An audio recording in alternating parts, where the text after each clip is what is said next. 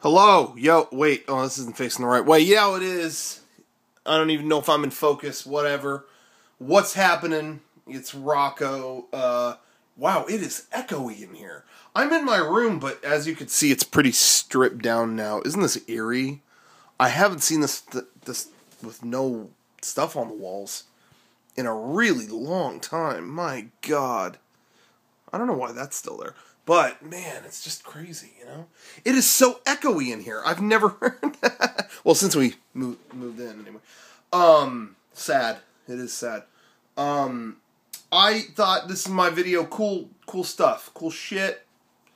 But if you're under 18, cool stuff. Um, uh, I know I, all my videos have been me thumbing through stuff, but I just keep on finding stuff. I figured might as well take this opportunity and show it to you. So anyway, this one's just cool stuff. Uh, as you can see, yeah, I took all the stuff off my walls. There's a lot of stuff in my little gallery that had a little story behind it or two, so I thought maybe I'd show that stuff.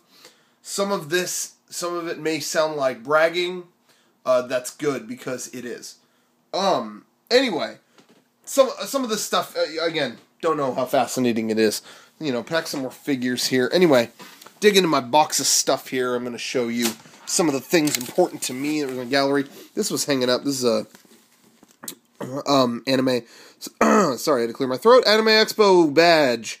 I kept this because, uh, you know, I have to say it's really cool. Uh, you know, people at these conventions make ribbons, and somebody made a Mega 64 ribbon. That was our old friend Cosplay Horatio. I have no idea where he is right now. Um, but may the best best of luck to him. Those ribbons were tight. I think he made these other ones too. But anyway, that was really special to me. So that was there. Uh, this is my high school letter. Pretty pretty tight. What else we got in here? This is a prop from a play I was in or something. Uh, this was the first play I was in. This is a gavel. I was uh, the commissioner in Damn Yankees. I had one scene that slammed that gavel. I had a big, powerful voice. Hence, they wanted me. I don't know. Anyway, um, um, people have seen version one or version two document. Wait, version one? I think that's the documentary that it's in. Please do not open this door. Cats are in here. We'll run outside. That that's been on my door uh, for years. I found we. I went to. A, my family has a big Christmas Eve party every year. Huge family thing, and we went somewhere for it once, and this was on the door. I just thought it was funny, and I took it. Um, Time magazine cover when they announced the Xbox 360. Two things are funny about this. One, the fact that it's red ringing. And two, j- that picture is goofy as hell. Look at that. That made me laugh so hard that I hung it up. There's no other significance to this, other than that's just the stupidest cover. Uh, I can see him. Uh. Okay. Uh, other things special to me. Aquabat's set list when I saw them with Puffy, awesome Japanese band. At least I thought they were then. I, I don't. I haven't heard them in a while. But uh, anyway, good set list. Fake commercials. Cat. There was a cat at some point. There was a bad guy at some point. Okay. This was just something I ripped off a wall when uh, we waited outside for the Nintendo Wii overnight. You know, it's funny. I filmed during that whole thing, but I feel like not much of that footage ever made it out. Uh, I know we did a podcast there, but eh, anyway. Uh, all right. This sign's hilarious. This is something we ripped off a wall from an anime convention we went to. Take a second and see if you could spot why this was funny to us. Just take a second. Soak it in. Ah, you found it. Uh, you'd be surprised how many people don't see it. But if you don't know, now you know. We thought it was funny. I took it. Uh, I met David Liebe Hart and he drew that for me. Um, I was in this. Um, that's just a good movie. Um, okay. This is all getting kind of stupid now. Uh, and those are just some. That's a exclusive Comic Con artwork I got. But this is cool. The original Dr. Pock beanie from like the first version one episodes. Um, and if some people noticed, there was actually a logo. I just wore this beanie backwards, but we didn't have any money for anything. So, uh, you know, I, I found this somewhere and I was just like, well, we'll use that. You know, I didn't have the money even to buy a beanie, so we just used this ratty beanie. It's not even technically black, it's really, really dark blue. but that's what we use. That's the original one. OG. I don't think we use this for that many episodes, though, because it's like, well, let's just get a nice black one. It's worth a few bucks. So, anyway, pretty dope.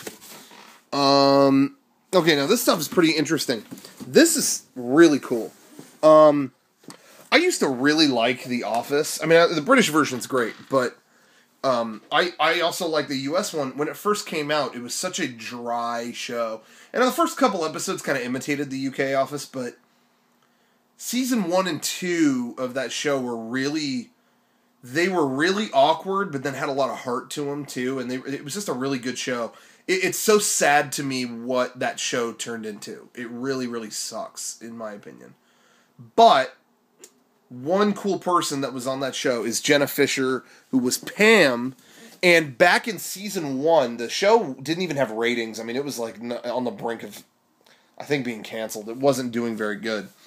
And during that era, Sean actually added her on MySpace way back in the day. Uh, gosh, this must have been 2005.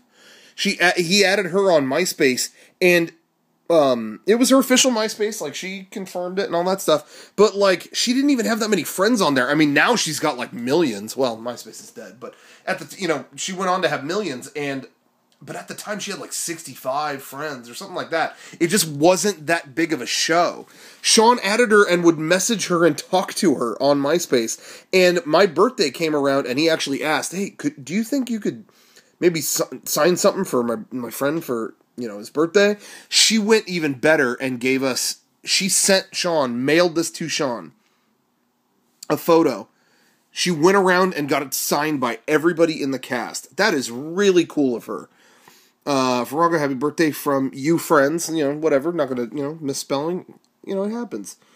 Uh, at the office, and yeah, it's signed by her and uh, the guy who played Jim, Ryan, uh, Steve Carell signed it, man. Rainn Wilson. I mean, that that's that's so cool. So, regardless of how I feel about the show today, I can never forget what a cool favor that was. She did not have to do that. So, shout out to Jenna Fischer. That was tight. That was really really cool. Thank you very much. Okay. Now, this was this is art that I just thought was so funny. I wanted to frame it. Uh, Derek did this for the version two episode summer semester. Can't front on that. That became a shirt. This is done by the artist uh, who designed a lot of the Japanese Power Rangers costumes. And somehow I ran into him at Comic Con. Comic Con one year, he was sitting at a booth and no one else recognized him, and someone pointed him out to me. Hey, this guy designs all the Sentai costumes. Whoa, okay. So I ran over to him and he looked. I shook his hand and he looked at my badge and he was like, "Oh, Rocco, okay." And then he drew all that. I made him sound really creepy just now. But um, anyway, th- here's the thing though. Can anyone out there translate his signature or what he says there? Because I actually, uh, honestly, I didn't know his name. I just n- was introduced to him. His name tag said Ta- Taro Yamada. Ta- Taro Yamada. I'm probably saying that wrong. Anyway, but from what I understand, I I think that's like the Japanese equivalent of John Doe. So I don't think that's his real name. That's that's just what I understand. Maybe that's wrong. I'm not that knowledgeable, but if anybody out there knows, that would be great. Okay, uh this another uh thing here is uh this was from Paul Schrier aka Bulk in Power Rangers. There he is. Uh I pretty much see him every Comic Con, and you know we filmed something that was in version two. He makes a little cameo, but he offered to sign this, so that was cool. Really cool of him. Cool drawing. Anyway, uh, and then I'm trying. You got a couple gifts here. When we filmed with Miyamoto, uh, when we did our Mario Brothers video with him, got a signed uh, gold This is all dusty, unfortunately, but gold cartridge. It was on it was in March sixth, two 2007, and he signed it. That's really really cool. And then over here, uh, I've had this up forever. It feels weird because honestly, well, I feel weird once I've met people hanging their stuff up. Like that's cool with Jenna Fischer and stuff, but like I haven't met them, so I can be okay with hanging that up. But like I feel weird having this stuff up now, especially with Hideo. Uh, back in the day when we first met him, he signed this for us, this Calorie Mate. Um, and anyway, it always looked really empty in here. So um, the last time we saw him, we got his business card and threw that in there, uh, too. But again, it feels weird. Like I don't know if I'm gonna put that up. Like that. Like I that, that I feel really honored to get that stuff, but that's weird. Once you've met the person, it kind of it, it's like weird having their stuff on your wall. Do you agree with that? I don't know. I used to have like a bad. It really sucked. I, I remember at one point I had a bad credit poster in here and then like we filmed a version three episode with Dallas, and it was just like, oh, this is really awkward. This isn't even like cool. Like I really support Bad Credit. I love the band Bad Credit, but like I can't have a poster up. Um. Anyway, shout out Dallas. You're cool. Um, I'll try to show any other cool stuff. Uh, I've already shown. I got that. I got that from Damon Lindelof and Carlton Cuse at Comic Con. Got to talk to them, and then got that in exchange for the conversation or something like that. That's just a cool. All right. Uh, got this signed by. This is a painting signed by Jason David Frank was Tommy the Green Ranger. Don't front. Do not front on that. Do not front on that. Do not front on that. Uh, this is the Matrix Comics poster. I was really, uh, dude. Uh, you know, I'm. Uh, I've said this before. I'm one of the few people who digs all three Matrix movies. The the sequels are not good sequels. They to me they stand on their own as some big three hour anime head explosion thing. The first movie is its own thing. That's my take on it. I dig them all in some way. But anyway, but the comics were great. I mean, even they, I think a lot of these ran during the original movie too on their website.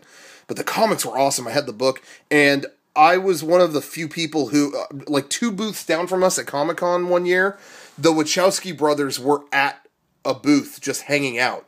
They were not announced, and no one else at the con recognized them. They're really reclusive. You know, they don't do interviews or, or appear in stuff, but somehow my nerdy ass, you know, recognized them, and I said hi, and they, I think, I don't know if they were surprised that I recognized them. I don't know, but anyway, they were really, really nice. I tried, I actually tried because it was so, I knew it was so rare that they were there. I actually tried to film a.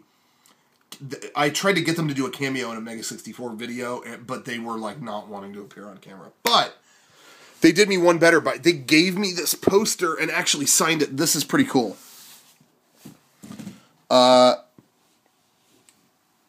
Andy uh, wrote, Rocco, thanks for pulling me from that flaming wreckage. I owe you my life. And I thought that was so funny. Uh, and I remember uh, Larry was there. Larry might have a different name now. I'm not sure. But uh, he did, he he he was next to sign it and just looked and laughed at it for like two minutes, not knowing what to write. So he just put, "I hope you like the new books," and he signed that there. But anyway, that was really cool of them. You know, like that was they didn't have to do that. So anyway, okay, that was cool.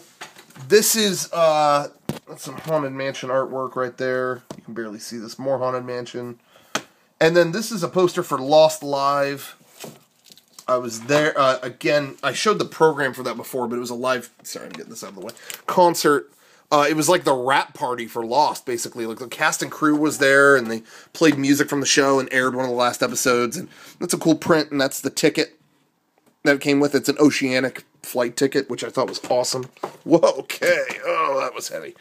All right, and then that is a got that at the Alamo Drafthouse. Uh, Godfather Part 2 limited print. That's from Alamo Drafthouse in Texas. When we went to visit Rooster Teeth, we saw some flicks there. That place is awesome. If you haven't heard about it, sorry. If you haven't heard about it, Alamo Drafthouse, you got to check that out.